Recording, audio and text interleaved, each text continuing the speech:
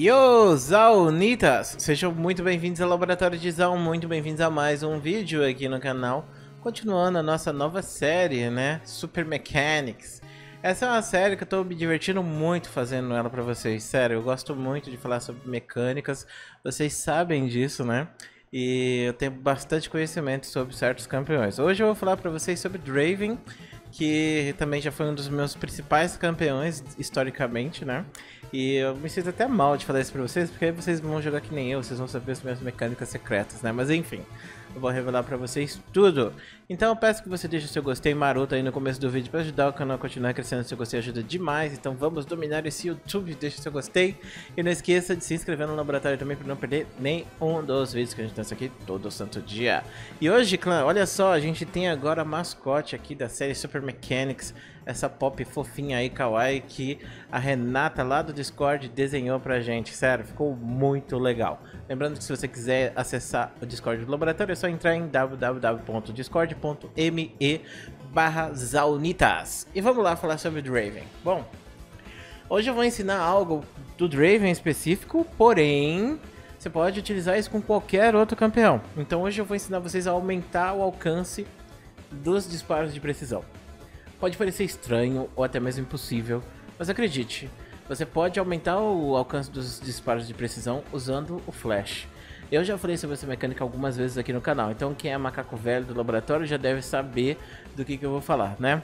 Hoje eu vou ensinar vocês a fazer cancelamentos e surpreender os adversários, principalmente porque eles têm menos tempo de reação. Vou colocar aqui dois bonecos de treinamento, ali, acho que um só já basta, não vou colocar dois não. O Draven ele é um campeão muito interessante, ele tem algumas mecânicas muito interessantes. A mecânica básica do Draven é essa de pegar os machados, que muitas pessoas elas acham basicamente que é a coisa mais complexa do mundo, que é totalmente impossível você acertar os machados. Mas é bem coxinha, clã. Sabe por quê? O Draven, ele, se você clicar logo depois que você atirar o machado, o machado ele vai cair aonde você clicou para ir. Então eu nem preciso, por exemplo, mirar direito, entendeu? O machado sempre vai cair no meu pé, tá vendo? Então eu vou querer que o machado caia para baixo duas vezes, ó. Três vezes para baixo. Para direita. Entendeu? Então você tem que clicar para onde você quer que o machado caia. Isso é bem basic, mas eu sei que algumas pessoas não manjam muito desse tipo de mecânica. Esse, essa é a mecânica clássica do cancelamento de ataque básico. Se você cancelar o ataque básico com o Draven, o machado vai cair onde você clicou. Se você cancelar o ataque básico com a Kalista, aí ela vai dar um pulinho para trás. É a melhor campeã, inclusive, para você treinar isso. Mas enfim, a gente não tá aqui para falar sobre mecânica de cancelamento, né? A gente tá aqui para falar sobre skill shots. Bom, Imagine que eu quero fazer um all-in nesse cara, mas ele tá muito longe, eu não consigo acertar meu win nele. Ou consigo, né? Tá, aqui, essa distância aqui já tá boa. Não consigo acertar ele daqui.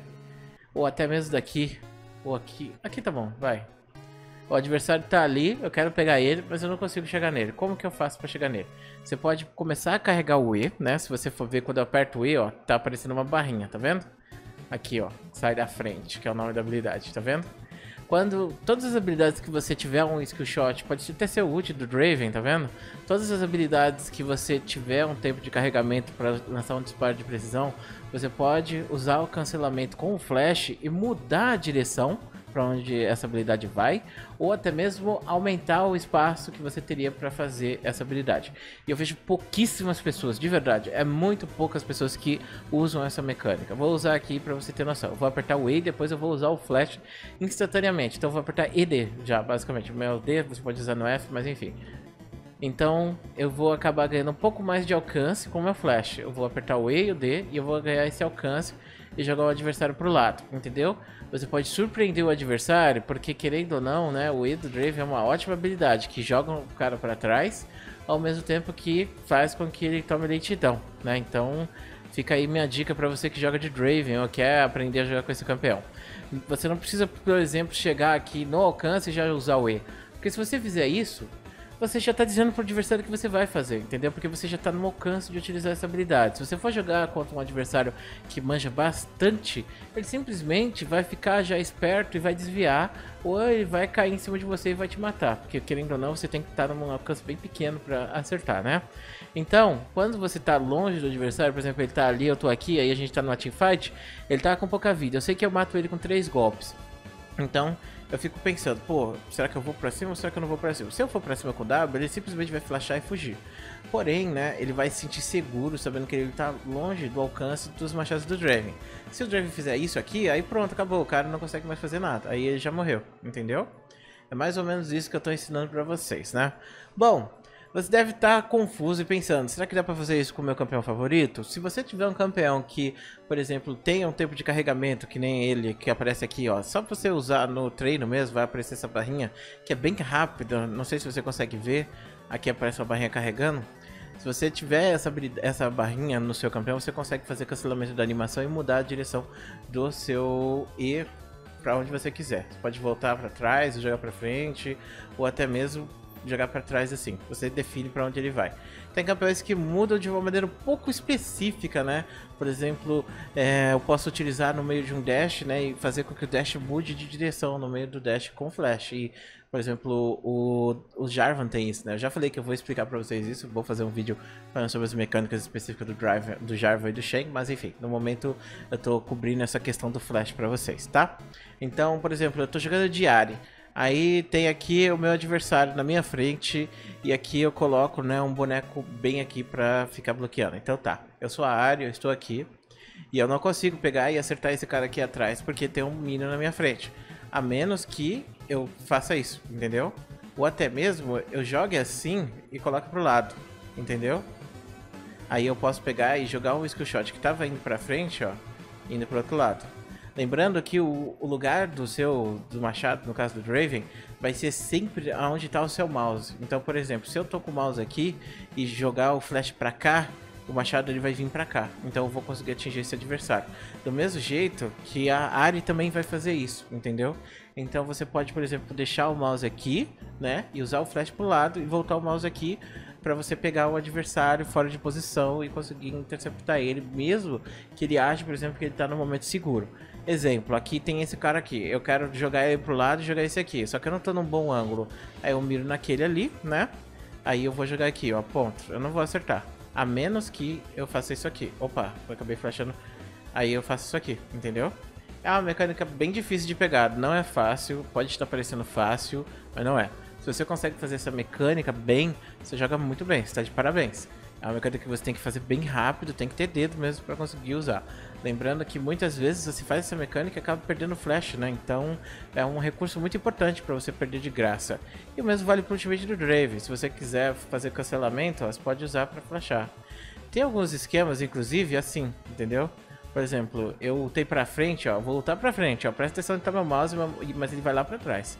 Isso aqui é uma mecânica que não faz nenhum tipo de vantagem, porém, ele vai fazer com que faça um negócio bonitinho. Sei lá, eu quero, eu quero pegar e vencer meu adversário e humilhar ele ao mesmo tempo, entendeu?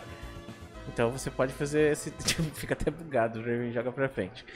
É, algum tempo atrás, o Faker ele fez uma mecânica dessa com a Cassiopeia ele tava virado para trás e aí ele lutou para trás, virando para frente com o Flash. E aí ele teve até um patch na Cassiopeia, inclusive para não ter mais essa mecânica, né, de fazer isso, pelo menos na Cassiopeia.